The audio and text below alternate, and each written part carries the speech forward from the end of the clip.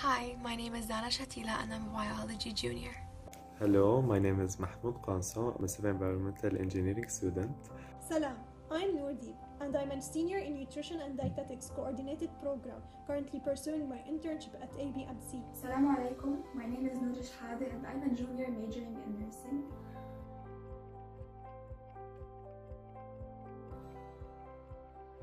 Draining. A life chapter. Is to be ice training. Learning was challenging, stressful, and tiring. Frustrating.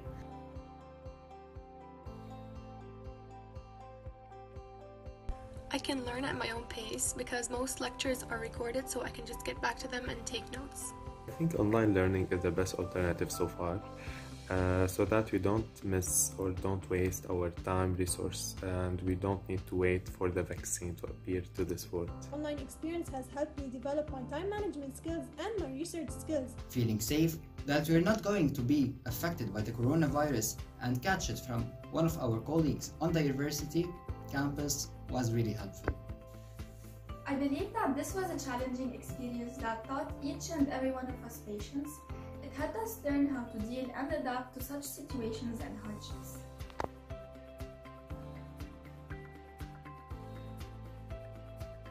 Trying to divide my time between all of the things that I have to do is so stressful and there just isn't enough time to do all the things that I have to do. Deadlines would be unanticipated, the internet connection would be horrible, and I would sit for an average of 9 hours in front of the laptop. Add to that the miscommunication and misinterpretation of assignments and projects that leads to a vicious circle of improper feedback and improper uh, co- corrections. The fact that we didn't have any direct or physical contact while lectures was really somehow difficult. This online experience has been frustrating. I've been having a hard time understanding lectures and making time for my daily tasks. It feels like everything is overlapping.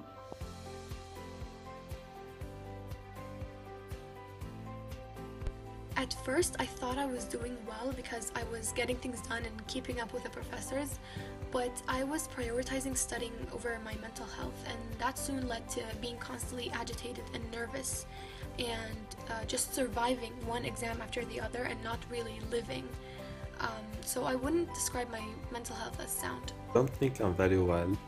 Uh, I have tried so many management and uh, techniques system, but many have failed uh, because I think I always put my work and uh, responsibilities and priority, and I forget about myself, and I forget that I am even having a slower uh, functioning uh, be, um, behavior and mental capacity. I could not have a proper sleeping schedule, and I would be panicking over overlapping deadlines trying to prioritize my tasks. Mental health is not at its best for the time being because my entire time is devoted to work and exams without taking it into consideration.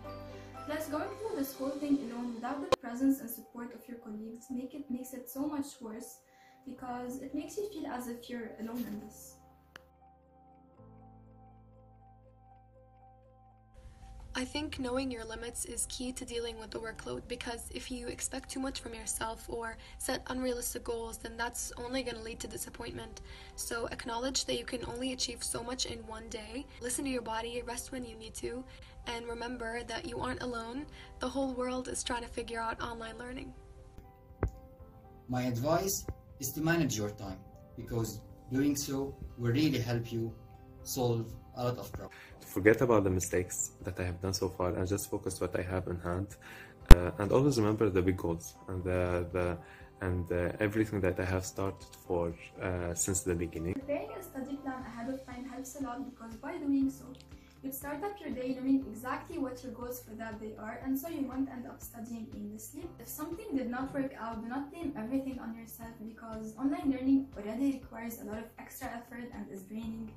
Learning and studying is very important, but your mental health should be a top priority because without your mental health, eventually you won't be able to function or even study.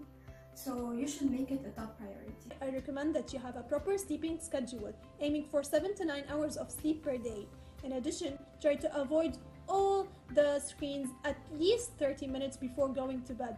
Try to have a proper eating schedule and have healthy snacks such as fruits and vegetables and avoid chocolate and chips.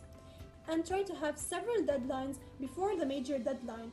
and create your own studying schedule. Try to maintain contact with your loved ones even though it was online and, and thank you for watching.